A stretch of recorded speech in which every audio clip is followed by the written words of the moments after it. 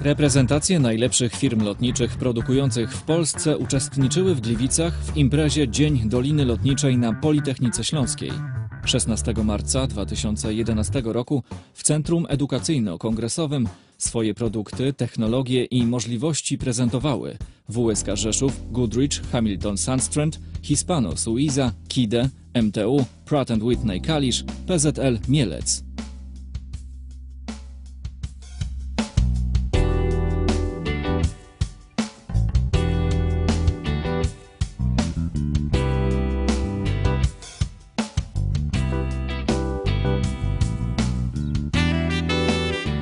Firmy te należą do Stowarzyszenia Dolina Lotnicza. Ten nowoczesny klaster przemysłowy zrzesza obecnie ponad 80 firm związanych z branżą lotniczą. Rocznie sprzedają one swoje produkty za ponad miliard dolarów.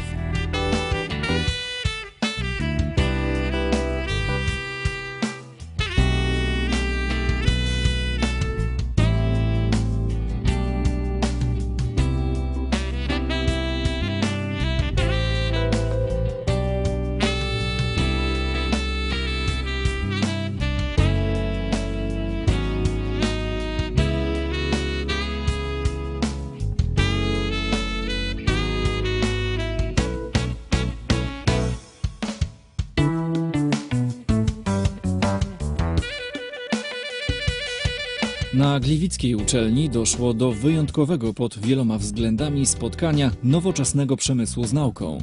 Jego celem było pokazanie studentom, w jaki sposób mogą oni praktycznie wykorzystać wiedzę zdobywaną w trakcie studiów. Ale nie tylko. Przedstawiciele firm zachęcali do skorzystania z możliwości znalezienia ciekawej i rozwijającej pracy właśnie na Podkarpaciu w Dolinie Lotniczej.